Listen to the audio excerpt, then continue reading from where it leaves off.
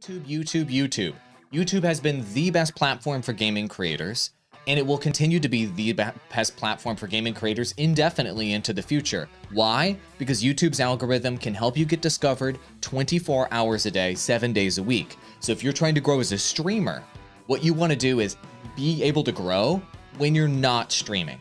And so if you're looking to achieve those growth numbers in 2021, the way to do it, the number one way to build a sustainable audience, think of it like building a generator or a battery that can power up your gaming content career. I'm serious.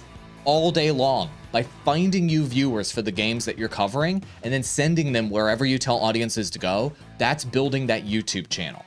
And so if you want to reallocate your time in 2021 to doing one thing and one thing alone as a Facebook gaming creator, I would recommend allocating as much time as possible to creating a YouTube channel. Here is the Cliff Notes version, and we've talked about this a bunch, but the Cliff Notes version is this. Whatever game you're playing, whatever games you're playing, you create tutorial videos, guides, or unique content about that game and release it on YouTube. And then in that YouTube video, you tell audiences to do one thing and one thing only go watch me play. If you enjoyed this video and you have any questions you want to ask me about this, go watch me stream, link below.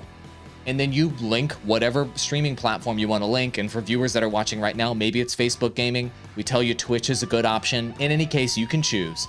And that strategy works. YouTube search is alive. YouTube channel growth is alive and well. It has never been bigger or better than it is today. And out of all of these gaming platforms, YouTube has consistently grown more creators to full time than any other platform out there, gaming content creators, more than Twitch, more than Facebook. All the others are tiny specks in comparison to YouTube. So I want you guys to be thinking about that sustainable video growth. Let me add one extra item on here. For those of you that continue to tune in, we're to have lots of nuggets of information for you that are really useful. Don't create funny moments clips of your streams and release them on YouTube. That doesn't grow creators. I coach tons of Facebook gaming content creators that come to me and be like, hey, well, take a look at my YouTube channel. Is it good?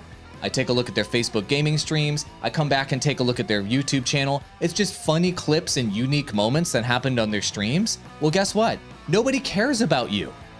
Nobody cares what funny stuff happened on your stream. Nobody cares on YouTube.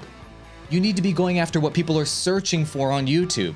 Answers on those glitches. Top 10 things you can do in this game how to do these mods, how to get better at the game. You need to be making content about what people are searching for and looking for on YouTube around your game, not you having fun with your friends. Sorry, nobody cares on YouTube.